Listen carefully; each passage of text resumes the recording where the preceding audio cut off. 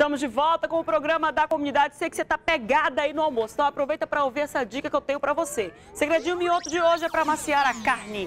Deixe descansar por até duas horas numa mistura de minhoto com azeite de oliva. Fica macia, macia a carne, viu? E tem mais. Para deixar o bife super molinho, acrescente uma colher de sopa de minhoto na água na hora do cozimento. Quer mais? Se a carne vai ser cozida, não precisa deixar de molho não. É só acrescentar uma colher de sopa de minhoto na água na hora do cozimento. Tempere com carinho, tempere com minhoto. 11 horas e 31 minutinhos. Você que tem do outro lado acompanhando o programa da comunidade. A gente acabou de falar de comida, estou com a fome. Olha o que a gente já falou hoje de comida, né? Peixaria do Almirante, minhoto para poder amaciar o bife. Hum. Olha só, vou para falar um pouquinho de saúde agora. São 11h31, você que tem do outro lado acompanhando o programa da comunidade. Tá no ar, Saúde Nota 10. Saúde Nota 10. Oferecimento. Vic Vaporub. Alívio da tosse, congestão nasal e mal-estar em 5 minutos. E olha só, a gente passou aí por um período de carnaval, onde os jovens vão para as ruas mesmo, não querem nem saber, saem beijando todo mundo. Nós, inclusive, fizemos uma reportagem sobre a doença do beijo também, quais são as doenças que podem ser contraídas no período de carnaval e em qualquer período do ano. E as doenças sexualmente transmissíveis têm aumentado e muito nos jovens por um simples motivo: eles não usam o preservativo. É a reportagem de hoje que a gente vai acompanhar. São pelo menos aí, olha, jovens entre 15 e 24 anos são os que menos usam camisinha no país e foi o que constatou uma pesquisa do Ministério da Saúde. É o que a gente vai ver agora na reportagem. Aula de física. Noções sobre força elétrica desafiam os alunos. Então quer dizer o quê? Que elas se atraem mutuamente. Mas essa é só uma das lições que eles aprendem em sala de aula. Os números, as fórmulas, vez ou outra dão lugar para assuntos que ainda são considerados tabus. Eles passam muito assunto sobre as doenças, doenças transmissíveis, sexualmente transmissíveis. Que cuidados precisam ter? Como é que... Precauções, essas coisas. E são elas, as doenças sexualmente transmissíveis e a AIDS, que preocupam. Acho que todas as, as doenças assustam. Essa escola estadual passou a trabalhar esses temas para prevenir mesmo. Quando a gente começa a falar né, da, da, das doenças sexualmente transmissíveis, que a gente começa a dizer das causas e tudo, eles ficam um pouco tímidos. Mas depois eles começam a, a interagir, porque é um assunto que é de interesse deles, né? A Secretaria de Educação do Estado tem levado campanhas e projetos contra as doenças sexualmente transmissíveis e a AIDS a todas as escolas públicas da capital e do interior. Nós sempre fazemos algumas campanhas, as escolas se programam para fazer. Os jovens entre 15 e 24 anos são alvo da campanha, porque, segundo o Ministério da Saúde, a maioria nessa faixa etária não usa camisinha. E esse é o problema. Esse sexólogo diz que há vários motivos, mas a falta de orientação ainda é a principal causa. Um deles está relacionado ao fato do, do tabu realmente do sexo, né? Porque das muitas vezes não tem essa orientação em casa e a primeira experiência ela vai do grosso modo. A ausência da camisinha nas relações sexuais está ligada ao aumento dos casos de HIV no estado. Os jovens, os adolescentes estão se expondo ao vírus na sua primeira relação sexual, nas primeiras relações sexuais, pelo não uso do preservativo, ou seja, estão falhando com a questão da prevenção. Os casos de AIDS ainda preocupam porque só aumentam. De 2001 para cá, foram 12.031 registrados no estado. Depois de Manaus, Parintins, Tabatinga e Itacoatiara são os municípios que preocupam. O Amazonas está entre os estados com as maiores taxas de detecção do vírus HIV e mortalidade por AIDS em todo o país. Outra doença que preocupa é o HPV. Por isso, nas unidades básicas de saúde e policlínicas, os profissionais foram orientados a dobrar a atenção para os casos suspeitos. Qualquer profissional de saúde, ele ao identificar pessoas que apresentam sinais ou sintomas suspeitas dessa doença, ele é obrigado a fazer um registro disso e esse registro ele é então consolidado pela Secretaria Municipal de Saúde. Ano passado, os casos de HPV registrados em Manaus chegaram a 169. A ideia dos órgãos de saúde e de combate às doenças sexualmente transmissíveis é desenvolver campanhas durante todo o ano para incentivar o uso da camisinha entre os jovens que já têm a vida sexual ativa. Gente, olha só, deixa eu falar uma coisa para os pais aqui, e aí vai ter muito pai que vai dizer, ah, mas tu nem é mãe para tu me dizer nada. Não, não sou realmente não. Mas sou uma mulher que procura me informar, procuro ler. Nós estamos no século 21 no século XXI, todos os meninos e adolescentes na escola têm celular com acesso à internet. E se você não tiver, não der esse acesso à internet para o seu filho em casa, ele vai encontrar no celular do colega, vai encontrar no, no computador da escola, vai encontrar na casa do coleguinha que os pais não têm o mesmo cuidado que você tem. Então, não conversar sobre sexo em casa jamais evitou que uma, uma menina, um adolescente, ou um menino ou uma menina tivesse relações sexuais na adolescência. Se você que está em casa, vocês pais, não conversarem com eles, eles vão saber na rua. Não tem para onde correr. Então é melhor chamar o filho, chamar a filha, porque a maior dificuldade é conversar com a filha, porque o filho é aquela história do garanhão, né? O pai já fala logo, meu filho, é o seguinte, quanto mais mulher você pegar, põe a camisinha, né? Mas tem que pegar assim porque é garanhão. E aí a menina não tem essa conversa com a mãe ou não tem essa conversa com o pai. E como é que fica? Ela fica vulnerável, porque o menino vai pegar a garota e vai dizer para a garota que ama, vai vir com toda aquela história, aquele papo que você caiu, por isso que ela está hoje aí no mundo e vai convencer a sua filha a ter uma relação sexual sem camisinha, porque você não disse para ela os perigos de se ter uma relação sexual sem camisinha. Então é importante que tenha essa conversa em casa. Procura um psicólogo, procura alguém que possa lhe ajudar para saber o momento exato. E na hora que esse momento chegar, não corra dele. Enfrente essa dificuldade, converse com a sua filha, esclareça para ela a situação para que ela não aprenda da pior forma possível. Já disse aqui o especialista sexólogo da reportagem da Marquinhos Pereira. Então, não fuja desse assunto, converse com esse assunto. Porque mesmo dizendo, conversando, ainda tem menino que aparece com a, outra embuchada em casa, lá vem a mulher, a menina é, é grávida. 16, 17 anos, 18 anos, está grávida. Grávida por quê? Porque não conversou e disse que camisinha evita doença sexualmente transmissível e evita também o bebê para se ter no momento maduro da vida, no momento em que você escolher e no momento em que programar e planejar. São 11 horas e 37 minutos. Esse foi mais um quadro Saúde Nota 10. Saúde Nota 10. Oferecimento. Vic Vaporub. Alívio da tosse, congestão nasal e mal-estar em 5 minutos. 11h38. Você que está do outro lado acompanhando esse programa da comunidade Show de Bola, vamos lá, vamos embora falar sobre passagem de comando. Você que está do outro lado já ouviu falar em embaixada, consulado. Consulado é um, o escritório administrativo dos países que ficam normalmente aí nas cidades, ou capitais ou não. E hoje a gente vai trazer para você a reportagem sobre a passagem de comando do consulado da Alemanha. O pai passou o consulado para a responsabilidade da filha. E a gente vai acompanhar a reportagem agora aqui na tela. A cerimônia no Centro Cultural Palácio Rio Negro reuniu empresários, além de autoridades políticas e militares do Amazonas. De acordo com a lei alemã, após os 65 anos de idade, o cônsul deve ser trocado por outro representante. Por esse motivo, o cônsul Martin Klenk, que tem 67 anos, se despediu do cargo. Ele recebeu homenagens e destacou os trabalhos feitos para promover o intercâmbio cultural entre Brasil e Alemanha.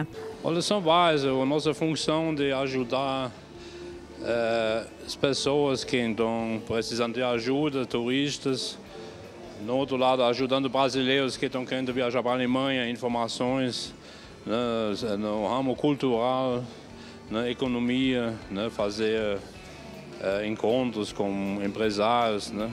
Quem assumiu o consulado foi a filha de Martin Klenk, a advogada Claudine Klenk, de 39 anos de idade. E ela já tem projetos para promover acordos econômicos entre os estados do Amazonas, Acre, Rondônia e Roraima e a Alemanha, principalmente para atrair empresas alemães ao polo industrial de Manaus. E, anualmente, a, o Corpo Consular é reunido em Brasília, tem o Ministério das Relações também Exteriores, inclusive a Câmara Indústria Brasil-Alemanha é, que facilita essa entrada de novos é, interesses né, de alemães de querer empresas virem também instalar uma empresa aqui no Amazonas. Né?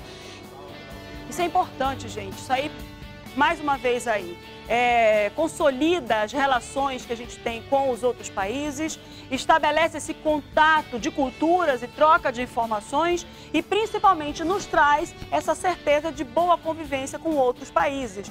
Ter um consulado nas cidades, e não necessariamente é obrigatório que seja na capital, a obrigação é que as embaixadas sejam nas capitais. Mas o consulado pode ser em qualquer cidade do país. É importante para que que aquele alemão ou aquele, aquele estrangeiro que mora no país tenha um contato com a cultura dele. E isso é extremamente importante, né? Principalmente no consulado, que são os processos administrativos, resolve problemas administrativos como passaporte, documentação, caso seja necessário. E a gente traz aí mais uma consolidação desse contato que o Brasil tem, que o Amazonas tem com o povo alemão. 11 horas e 41 minutos, você que está aí do outro lado acompanhando o programa da comunidade. A gente vai trazer agora para você que está aí do outro lado informações culturais. Vai ter peça, peça de teatro para você que está aí do outro lado. Coloca as imagens para mim, por favor, aí, diretor. Olha, A Paixão segundo Adélia Prado. Quem vai fazer a interpretação é a atriz Elisa Lucinda, que está comemorando 30 anos de carreira e 20 anos uma parceria que deu super certo. A Elisa Lucinda está comemorando junto com a diretora Giovana Pires 20 anos de trabalho e eles estão usando aí esse texto da poeta Adélia Prado para justamente é, trazer toda essa cultura, toda essa força desse trabalho todo junto aqui com os amazonenses, junto com os manauaras. Vamos conversar agora com a atriz Elisa Lucinda. Tudo bom, Elisa? Como é que vai? Eu quero Como fazer uma vai? foto. Ai, né? Para depois, vem para cá pra esse lado aqui. Isso, tá bom aí, tá bom aí. Tudo bom, Elisa? Tudo Quais são os dias de apresentação da peça? Olha, a gente vai fazer sábado e domingo aqui nessa cidade maravilhosa. Porque que é uma cidade maravilhosa mesmo. Eu adoro, eu acho que o Brasil todo tem que conhecer uh, o Amazonas e conhecer Manaus. Toda hora eu vejo alguém lindo falando comigo. É a moça da recepção, é a repórter, é, é a, a, a, entrevistadora, é a secretária. É, é, é cheio da beleza, assim, indígena, né? O tempo inteiro, lindo. É, eu acho que isso é extremamente importante porque a gente mostra o que, que é essa simpatia e o que, que é essa alegria toda do amazonense, né, Elisa? É, Quantas vezes inteiro, você muito já afetuoso. aqui? É a primeira vez? É a segunda vez. Eu fiz o Parem de Falar Mal da Rotina em novembro, me lembro, não sei, outubro. É, e lotou, assim, foi três dias, foi uma delícia. Agora a gente vai fazer sábado e domingo, A Paixão segundo Adélia Prado. Que, que show, é, né? é uma, um jeito de tornar a literatura mais é, acessível mesmo. Uhum. E, é, e essa peça é uma peça é, que traz uma, um universo feminino tão universal, tão. A história de um amor né, entre ela e o Jonathan, que é um personagem que ela criou. A Adélia Prada é a nossa mais conhecida poetisa, uhum. a mais popular. Você está acompanhando imagens da trechos da peça aí, viu? Você está acompanhando agora. Ai, que ó. delícia. O André Ramos, que trabalha comigo e que é, a direção da Giovana Pires. Dizem que é, quem vê o espetáculo fica emocionadíssimo. Ficamos três meses no Rio, na Sala de Cultura Laura Alvim, e lotado, sabe? As pessoas choram, riem. Pode levar. Os jovens têm que ver a peça. E é uma, é uma forma de revelar. Eu estava lendo ali o release, né? Aqui fala assim: é uma forma de revelar a noção pagã e sacra do pecado. Eu achei tão interessante esse antagonismo, né, da é gente que lidar. ela não e ela não não o que ela faz ela é desantagonizar.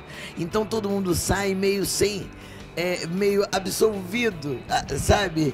De, daquela culpa, a culpa que a gente uhum. tem, né? De, então essa é uma mulher religiosa, mas que também deseja. Então ela diz assim: é, Deus não me fez até a cintura para o diabo fazer o resto. Ou é. tudo é bento ou nada é bento. Que show. Deixa eu só dizer um recado para você que está aí do outro lado.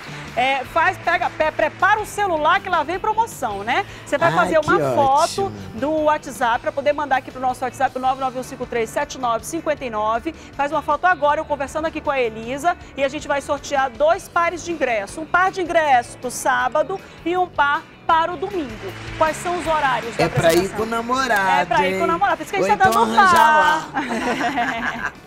Qual é o horário? Da apresentação É, da peça? Quais são os horários? Às 20 horas no sábado e 19 horas no domingo. É só uma apresentação, apresentação única no sábado e única, no Única domingo? no domingo. Poxa eu não perderia se eu morasse aqui. Não, né? Ainda mais que é no Teatro Amazonas, Não, né? porque ela, ela, principalmente, é uma peça que acorda a gente para o nosso papel de criatura. A gente, a gente desenvolveu uma soberba por causa do dinheiro, por causa do, da divisão de castas, de classes sobre a outra, de superioridade. E a gente esquece que a gente é pequeno. A Diante gente- disso tudo, né? a gente é pequeno diante de uma estrela que a gente vê pequenininha, mas a estrela é muito maior do que o ser humano. Então, assim, é lindo o- o- a delicadeza com que a Adélia vai traçando esse desenho pelo cotidiano nosso, esse, esse cotidiano mais simples, onde passei o nosso desejo, a nossa fé, sem brigarem uma com as outras, sabe? Agora, olha, o diretor está me dizendo aqui agora, que, né, que a gente já sabia, mas eu vou fazer referência porque não sabia que a gente ia abordar esse assunto. Me dá aqui, Ingrid, que a Lucinda também é escritora, né? E ela está trazendo aqui dois livros pra gente, que é Elisa Lucinda, Vozes Guardadas. Vou mostrar aqui pro Rude, é pro Rude que eu vou mostrar. Esse aqui é um é o livro. Vozes Guardadas é o nome do livro, é, um, é, um, é um- uma coletânea de poesias, assim. São dois livros, o Jardim das Cartas e o livro de- do Desejo, aqui dentro. Aqui E dentro tá o livro são do dois Desejo. Livros. E é, é o livro, posso mostrar? Pode, por favor. Meu caçulinha, adoro. Que show. É, tem poemas aqui bem, bem interessantes. Ah, ah, aqui, é, o poema é para mim terra firme, como é para o náufrago a ilha, E é mesmo, isso é, são dois livros que eu juntei nesses 11 anos sem publicar poesia. Eu sou poetisa, e sou escritora, né, há muitos anos. E esse é o meu primeiro romance, que foi finalista no Prêmio São Paulo de Literatura, que é uma autobiografia não autorizada Aham. do Fernando Pessoa, nosso poeta, o maior poeta de língua brasileira. Deixa eu mostrar aqui enquanto você Ah, fala. você que- Não, aí o diretor já tá, eu quero esse. Ele já tá aqui, eu quero esse. Se tu pegar esse, eu vou pegar o outro. Eu vou logo avisando. Olha aí, ó. Ai, que Vende que, bonitinho. li, em que livraria? Vende na Saraiva? Vende, na- vende. na A Saraiva, Concorde? inclusive, parceira desse lançamento, ela foi. Aham, não, vai encontrar em qualquer boa livraria. Qualquer ramo. boa livraria você encontra, tá aí. Mas essas duas aqui a gente vai sortear e a gente faz o seguinte, E- Ivan, a gente compra, né? Porque dá pra gente passar lá na, na Saraiva Fala com o seu diretor pra ele lá Problema, ver a peça. a gente compra, leva lá pra peça pra ela poder autografar, Autografar. pra gente. Né? Já dou logo uma e lá, solução não, pra mas lá na pessoa. peça você pode comprar. Vai ter livro lá na peça Sim, na eu hora? faço de cada espetáculo uma livraria ambulante. Tá certo, Sabe? porque mistura logo as culturas, É, né? Mistura leitura com teatro. Quanto é que né? tá um livro desse? Quanto é que é esse, Esse, aqui, tá? esse é o mais caro dos meus livros, custa 60, esse aí. Que não Tem é um nada fotos. pro conhecimento cultural que a gente E tem, esse né? custa 50. E esse aqui Mas são 50 é reais. eu, eu acho, também acho bom fazer uma defesa aqui do livro. O livro é um bem que não gasta. Você pode durar 100 anos.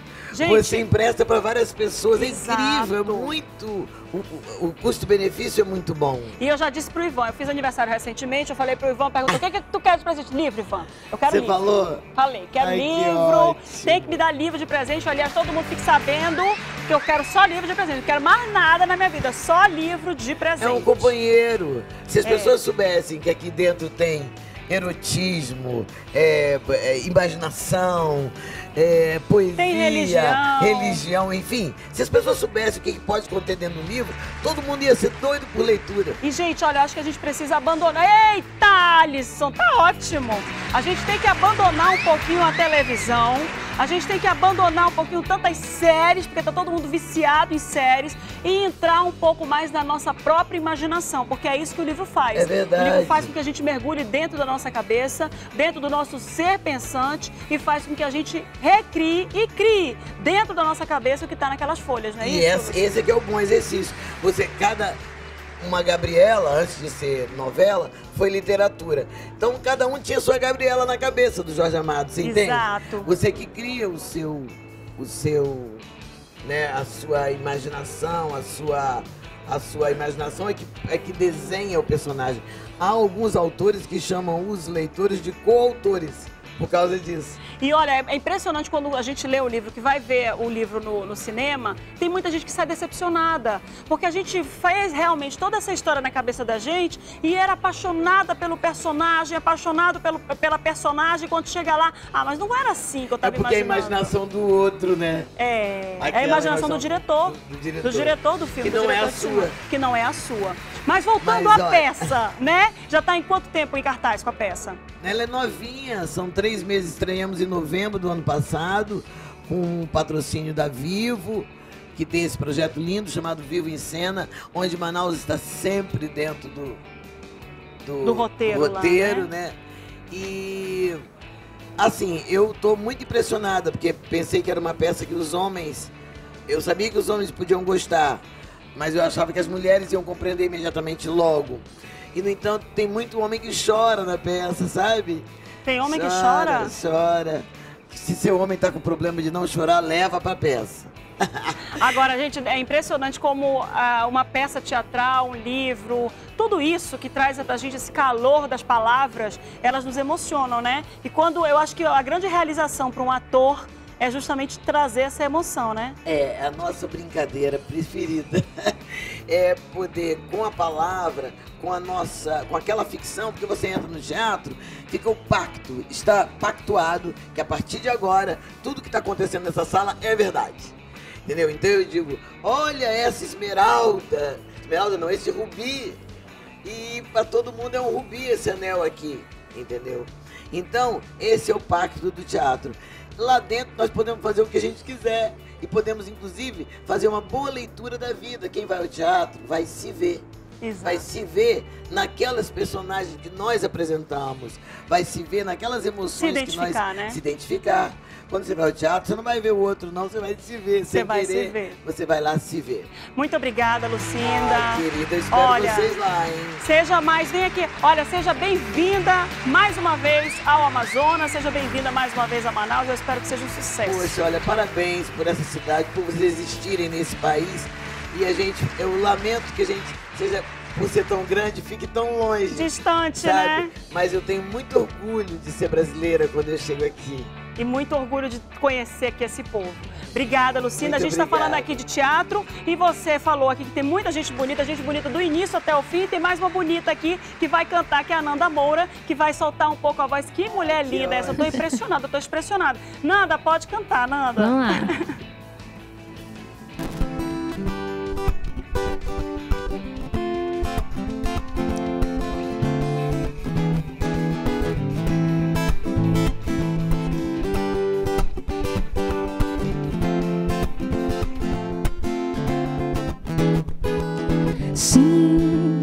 Estou tão cansado, mas não pra dizer que eu não acredito mais em você. Com minhas calças vermelhas, meu casaco de general, cheio de anéis. Eu vou descendo por todas as suas. Eu vou tomar aquele velho navio. Eu vou tomar aquele velho navio. Aquele velho navio. Não preciso de muito dinheiro graças a Deus. E não me importa, e não me importa, não a minha honey baby,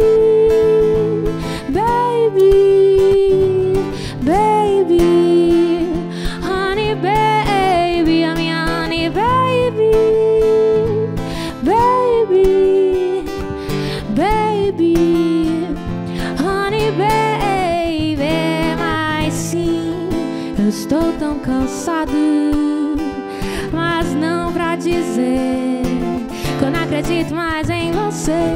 Com minhas calças vermelhas, meu casaco de general, cheio de anéis. Eu vou descendo por todas as ruas. Eu vou tomar aquele velho navio. Eu vou tomar aquele velho navio. Aquele velho navio. Eu não preciso de muito dinheiro, graças a Deus.